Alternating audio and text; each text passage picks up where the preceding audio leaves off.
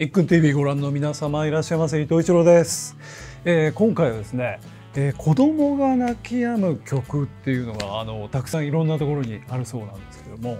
その中でそうですね日本の邦楽で、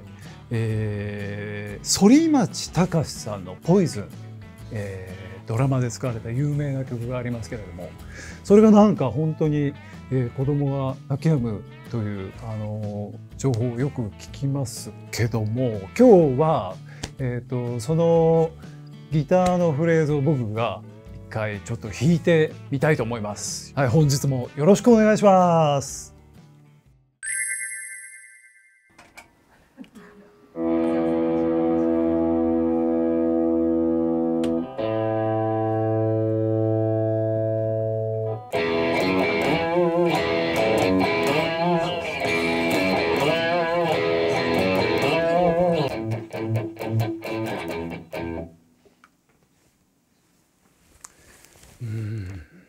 吉川浩司さんなんだよね。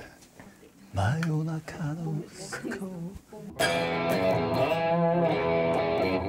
っと間違えちゃった。もう一テイク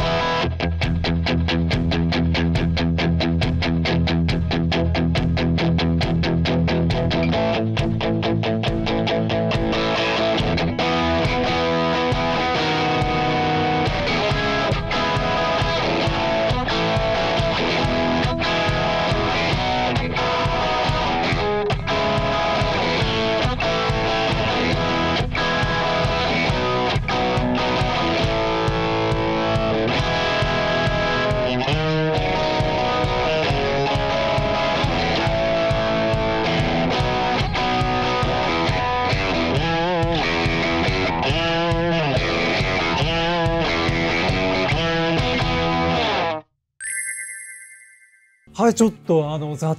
とねあのワンコーラスぐらい弾いてみたんですけどどうすかね。ギターだけじゃなくてえっとこの曲のイントロのねなんかそのリズムっていうか、えっと周波数にその泣いてる子供がなんかねあの反応するんじゃないかなと思うんですけど、えっと試しにそのお子さんがいらっしゃってそのあの泣き止ましたいなみたいな時があったら僕のこのギターのテイクをちょっと、あの流してあげてみてください。多分もうもうちょっと泣いちゃうんじゃないかなと思うんですけど はいそんな感じでねこういうなんか秘密が探れたらいいなぁと思ってるんでまあえーちょっとね試しにあのなんか聞かせて見てあげてほしいなと思います。えー本日はありがとうございます。